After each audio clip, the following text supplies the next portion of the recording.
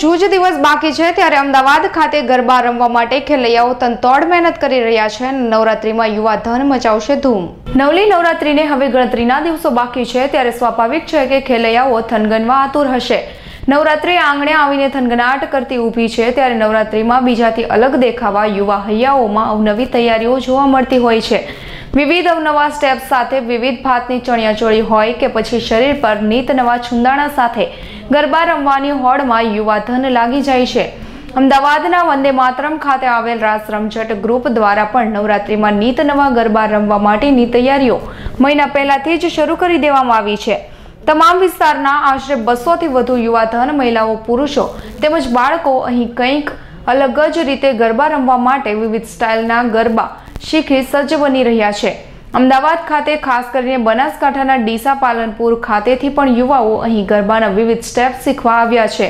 અને આ વખતે કંઈક નવું કરી દેખાડવાની ખેવના સાથે ગરબા સ્ટેપ શીખતા નજરે જોવા મળે છે. ખાસ કરીને યુવતીઓ પણ નવરાત્રી દરમિયાન વિવિધ કારીગરી, ભરેલ ચણિયા જોડી દ્વારા ગરબા રમવામાં ખાસ આકર્ષણ જમાવતી જોવા મળશે.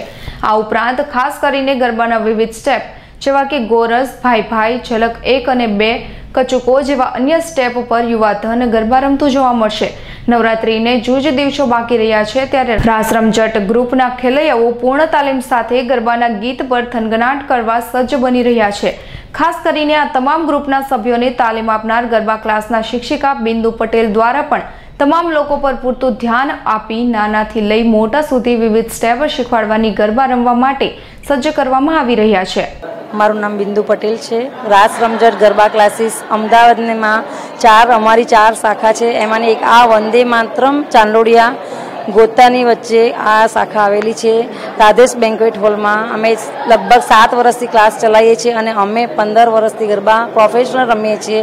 અમે આ ક્લાસમાં બે મહિના પહેલાં અમારા ક્લાસ સ્ટાર્ટ થાય છે અને તે સાત વાગ્યાથી તે અગિયાર વાગ્યા સુધી અમારો ક્લાસનો ટાઈમ હોય છે. એ દરમિયાન ત્રણ બેન્ચો હોય છે અને અમે ખૂબ નવ દિવસમાં આદ્યશક્તિની આરાધના સાથે સાથે યુવા ધન ગરબા રમશે અને મા અંબાની આરાધના કરશે તો યુવતીઓ પણ પૂર્ણ તૈયારીઓ સાથે ગરબા રમવા મેદાનમાં ઉતરશે. રાસ રમઝટ ગ્રુપના ખેલૈયાઓ પણ પૂર્ણ સજી ધજી નીત નવા સ્ટેપ અને પોશાક સાથે ગરબા રમશે તો આ વખતે શહેર પોલીસ દ્વારા પણ ખાસ ચુસ્ત બંદોબસ્ત રાખવામાં આવનાર છે. શહેર પોલીસ કમિશનરના આદેશ મુજબ રાત્રે એક વાગ્યા પછી લાઉડ સ્પીકર વગાડવા પર પ્રતિબંધ મૂકવામાં આવ્યો છે.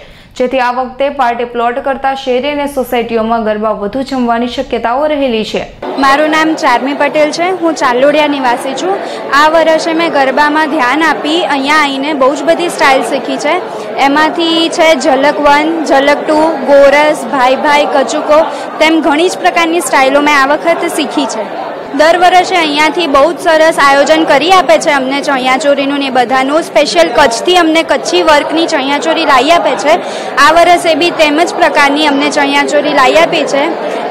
તેમાં કચ્છી પાઘડી, પછેડી, પછી ચણિયો એ બધું જ અમને બહુ જ સરસ કરી આપે છે. આ વખતે અમે ઘણી બધી નવી સ્ટાઇલ શીખી છે. તેમાંથી એક છે કચુકો ઝલક વન ઝલક ટુ ગોરસ, પછી મિર્ઝિયા ભાઈ ભાઈ, એ એ બધી બહુ જ બધી અમે નવી શીખી છે. સેફટીની વાત કરું તો અહીંયાના જે આયોજકો છે, એ બધા જ અમારી સેફટીનું બહુ જ સરસ રીતે ધ્યાન રાખે છે. બધી જ છોકરીઓને જે જે અમારી સાથે ગરબા ગાવા આવે છે, તેમને ઘરે પહોંચાડવા ઘરેથી અમારા સ્થળ પર જવા બધી જ સારી રીતે મદદ કરે છે. સંજીવ કુમાર રાજપૂતનો રિપોર્ટ, અમદાવાદ.